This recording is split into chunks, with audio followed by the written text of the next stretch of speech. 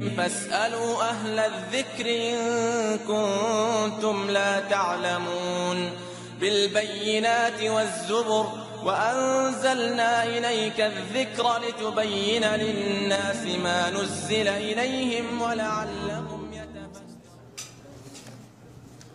السلام عليكم ورحمة الله وبركاته. الحمد لله وحده والصلاة والسلام على من لا نبي بعده. প্রশংসা আল্লাহ সুবহানাহু তাআলার জন্য শান্তি অবতীর্ণ হোক মুহাম্মদ সাল্লাল্লাহু আলাইহি ওয়াসাল্লামের উপর। ভালো আছেন আপনারা? কাউকে পরিচিত মনে হচ্ছে যারা দার্সে কোনো এক সময় ছিলেন হয়তোবা, আর অধিকাংশ অপরিচিত মনে হচ্ছে। তো বুলুগুল মারামের আপনারা কত নম্বর হাদিস পর্যন্ত পড়েছেন শেষের কাছে? মানে আজকে বিয়াল্লিশ থেকে শুরু করবেন। মাশাআল্লাহ। তো বুলুগুল মারাম বিষয়ে আপনাদের কীরকম ধারণা? কতটুকু শিখতে পারছেন? কেমন শিখতে পারছেন? অনেক সুন্দর একটা বই এবং আলহামদুলিল্লাহ শাহেখ অনেক যোগ্য এবং অনেক সুন্দরভাবে আপনাদের পড়াচ্ছেন। মাঝে মধ্যে আমি ফেসবুকে লাইভ যে প্রচারিত হয়, মাঝে মধ্যে দেখি, আলহামদুলিল্লাহ। শায়েখের কাছ থেকে উপকার নেওয়ার এই সুযোগটা আপনারা কেউ হাতছাড়া করবেন না। হাদিসের দাস হাদিসের দাসের যে বরকত, এই বরকত থেকে আমরা যেন কেউ মাহরুম না হই। আমরা যেন কেউ এই বরকত থেকে দূরে না থাকি, এতটুকু আমাদের মনের মধ্যে সংকল্প রাখতে হবে। আগের যুগে যখন হাদিসের দার্স হতো, ইমাম আহমদ বিন হাম্বাল, ইমাম বুখারি তাদের দার্সে দশ হাজার, বিশ হাজার, তিরিশ হাজার করে মানুষ উপস্থিত হতো। যাদের সকলেই ছাত্র ছিল এরকম নয়, বরং অনেকে এই জন্যই শুধু উপস্থিত হতো, যেখানে আল্লাহ রাসুলের কথা আলোচিত হচ্ছে, এখানে বরকত অবতীর্ণ হচ্ছে ফেরেস্তারা এই মজলিসকে ঘিরে আছে সেই মজলিসে আমরা কিছুক্ষণ বসে থাকব। এগুলো সাধারণ জনগণ হাদিসের দার্সে এবং হাদিসের মজলিসে উপস্থিত হতো। আর হাদিস যেখানে পাঠ করা হয়, তার মানে রাসুল সাল্লাহ আলী আসসালামের কথা পাঠ করা হয়। মানে এই মজলিসে রাসুল সাল্লাম উপস্থিত আছেন এরকম একটা ভাব। রাসুল সাল্লাম স্বয়ং কথা বলতেছেন। তার হাদিসগুলো এখানে লেখা আছে। তারই তো কথা। জাস্ট তিনি আমাদের মাঝে উপস্থিত নাই, কিন্তু তার কথাগুলো আমরা শুনতে পাচ্ছি। এই জন্য হাদিসের সাথে আমাদের আবেগ এবং আমাদের ভালোবাসা হতে হবে সীমাহীন, মর্যাদাপূর্ণ ও ভারাত্মপূর্ণ। একজন হাদিসের ছাত্র তার মধ্যে এবং অন্যান্য যারা ছাত্র তার মধ্যে পার্থক্য হওয়াটা উচিত। এবং আমরা আমাদের মদিনা বিশ্ববিদ্যালয়েও দেখি যে কুল্লিয়াতুল হাদিস যেটা, হাদিস ডিপার্টমেন্ট এবং আরও যে ডিপার্টমেন্টগুলো আছে সেগুলোও শরিয়া সংক্রান্ত, ইসলাম সংক্রান্ত, আকিদা ডিপার্টমেন্ট, কোরআন ডিপার্টমেন্ট সারিয়া ডিপার্টমেন্ট এই যে ডিপার্টমেন্টগুলো আছে, সেগুলোর সাথে হাদিস ডিপার্টমেন্টের হাদিস বিভাগের একটা পার্থক্য ফুটে ওঠে। হাদিস বিভাগে আমার প্রায় আড়াই তিন বছর হচ্ছে, এই চলতে ফিরতে হাদিস বিভাগে এরকম ছাত্র আমি দেখিনি যেই ছাত্রের দাড়ি কাটা আছে। খুব কম, রেয়ার, চোখে পড়েনি আমার। কিন্তু অন্য ডিপার্টমেন্টগুলোতে গেলে সারিয়া বা অন্য কোনো ডিপার্টমেন্টে গেলে দেখবেন যে মাঝে মধ্যেই চোখে পড়তেছে। একটা আমলেও একটা পার্থক্য লক্ষ্য করা যায়।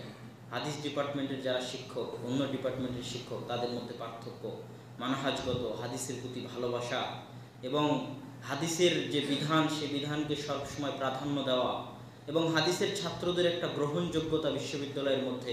কেউ যদি জিজ্ঞেস করে, তুমি কোন ডিপার্টমেন্টে পড়ছো? তো একটা ছাত্র যদি বলে যে, আমি সারিয়াতে পড়ছি। তো উপস্থিত যে সামনে আছে, তার মধ্যে যে একটা প্রতিক্রিয়া দেখা যায়। যখন ছাত্র বলে যে, আমি হাদিসে পড়ছি, তখন তার মধ্যে অন্যরকম একটা প্রতিক্রিয়া দেখা যায়। অন্যরকম একটা ভালোবাসা দেখা যায়। এমনকি অনেকে বলে যে এটা কুল্লিয়াতুল আলবানি, শেখ আলবানি ডিপার্টমেন্ট মানে ওই ডিপার্টমেন্টের শিক্ষক নাসিরুদ্দিন আলবানী রাহেমাহুল্লাহ ছিলেন। আলবানি ডিপার্টমেন্ট বলে সম্মান করা হয় এবং অন্য ডিপার্টমেন্টের চাইতে এই ডিপার্টমেন্টে আলবানী রাহেমাহুল্লার মর্যাদা, সম্মান, হাদিসের হুকুম গ্রহণের ক্ষেত্রে যে একটা প্রাধান্য, সেটাও স্পষ্ট হয়ে ওঠে। তো আমি একটা উদাহরণ টানলাম। পৃথিবীর ইতিহাসের শুরু থেকে নিয়ে আজ পর্যন্ত যারা হাদিসের প্রতি ভালোবাসা রেখেছে, হাদিস পড়েছে, হাদিসের দাস দিয়েছে এবং হাদিস পড়াশোনায় নিজেকে ব্যস্ত রেখেছে, মানব সমাজে তাদের সম্মান সীমাহীন।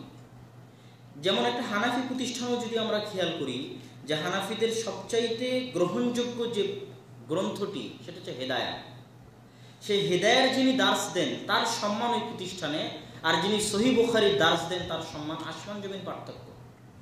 এটা হানাফি প্রতিষ্ঠানে তাদের সবচেয়ে ফেকি নির্ভরযোগ্য যে গ্রন্থ হেদায়াত, তিনি ওই গ্রন্থটা যিনি দার্স দেন, তার চাইতে যিনি সহি বুখারি দার্স দেন, তার মান মর্যাদা বেশি, তার বেতন বেশি, তার পদমর্যাদা বেশি, তার সম্মান বেশি, তার প্রতি ছাত্রদের ভালোবাসা বেশি।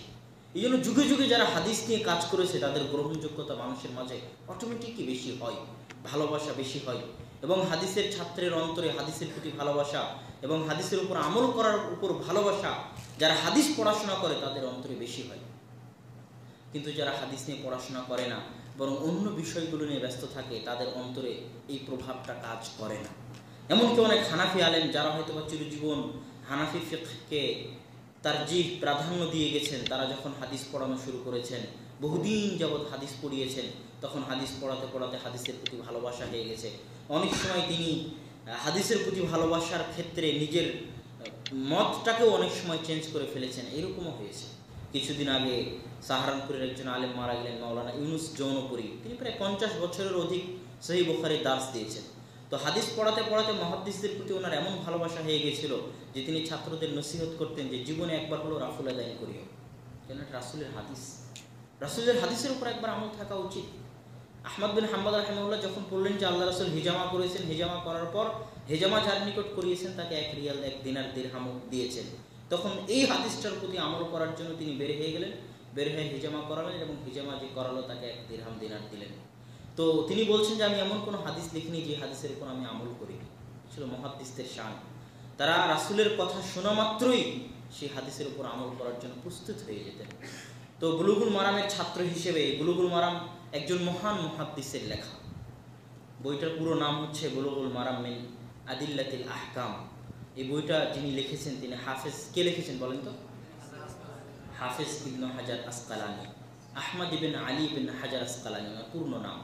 পূর্ণ নাম আহমদ ইবিন আলী বিন হাজার আসকালানি, আটশো বাউন্ন হিজড়িতে মারা গেছেন। অনেক বড় মহাদ্দিস। এবং দুনিয়াতে যত মহাদ্দিস গেছেন তাদের মধ্যে যারা ধন সম্পদের দিক দিয়ে ধনী ছিলেন, তাদের মধ্যে ইনি একজন।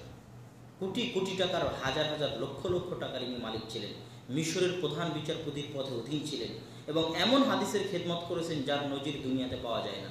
তারই বই ফাতহুল বাড়ি সহি বুখারির ব্যাখ্যা। পৃথিবীর সর্বশ্রেষ্ঠ সহি বুখারির ব্যাখ্যা কি? ফাতহুল বাড়ি এটার লেখককে হাফিজ ইবনু হাজার আসকালানি। এবং তিনি যখন ফাতহুল বাড়ি লেখা শেষ করেন, ভূমিকা যখন প্রকাশ করেন, তখন তিনি একটা বিরাট ভোজের আয়োজন করেছিলেন, আপ্যায়নের আয়োজন করেছিলেন। সারা দেশ থেকে বড় বড় আলেমুল আমাকে ডেকে নিয়ে এসেছিলেন এবং তাদের মাঝে এই ফাতহুল বাড়ি বিতরণ করেছিলেন এবং তাদের খাওয়া দাওয়া করিয়েছিলেন। অনেক ধনী মানুষ ছিলেন, অনেক ধনী মানুষ ছিলেন। এবং তিনি আরও যে খেদমত করেছেন, আপনার যেটা বুলুগুলো মারাম তো আছেই তাহজিব তাহজিব তাকরিব তাহজিব, এই গ্রন্থগুলো যারা হতো আদিল এবং হাদিস শাস্ত্রের রিড় কি হাড্ডি, উর্দুতে একটা কথা বলে মানে মেরুদণ্ড। মানুষের মেরুদণ্ড যেরকম গুরুত্বপূর্ণ, এই বইগুলো যারা তাদিল এবং উসুলে হাদিসের এরকম মেরুদণ্ডমূলক বই, এই বইগুলো তাহজিবুল তাহজিব তাকরিবুল তাহজিব নুজহাতুল নাজার নুফবাতুল ফিকার, এগুলো সব হাফিজ ইবনু হাজার আসকানির লেখা। তেমনি মিজানুল ইতেদালকে তিনি লিসানুল মিজান তৈরি করেছেন। মিসানুল ইতেদাল হাফেজ জাহাবির লেখা, সে বইটাকে তিনি সংক্ষিপ্ত করে নাম দিয়েছেন লিসানুল মিজান। এটাও উসুলে হাদিস এবং যারা হতো আদিলের মেরুদণ্ডমূলক একটি বই। তিনি এমন খেদমত করেছেন যে খেদমতের নজির দুনিয়াতে পাওয়া যায় না।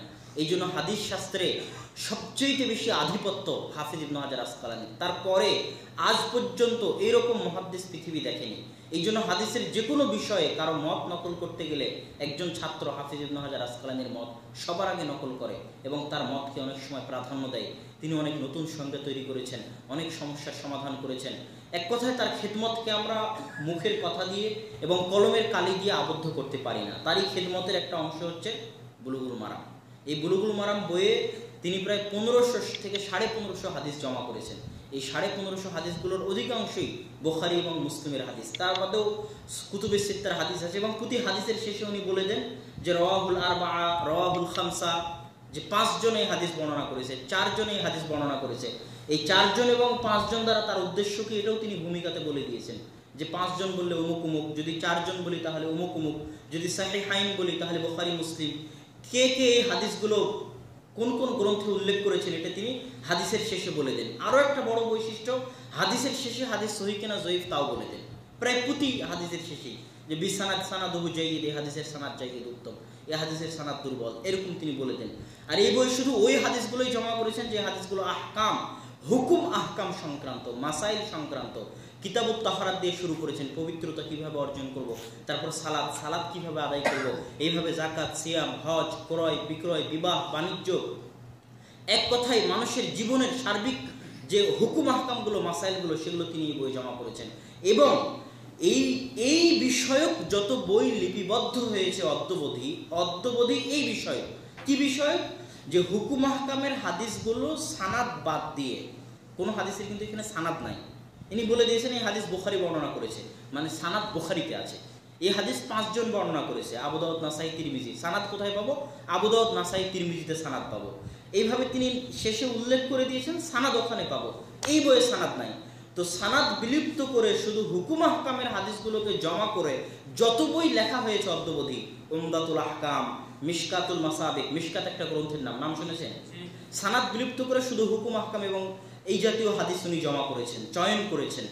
তেমনি একটা গ্রন্থ বুলুগুল মারাম, এই জাতীয় গ্রন্থ আব্দুল হাক আলী ইসবিলিও লিখেছেন, এই জাতীয় গ্রন্থ আপনার আরও ইবনু দাকিকুল ঈদ আল ইলমাম উনি লিখেছেন, ইবনু দাকিকুল ঈদ, যেখানে তিনি শুধু সহি গ্রন্থ জমা করেছেন আল ইলমামে আল ইলমামের নিজে তিনি ব্যাখ্যাও করেছেন।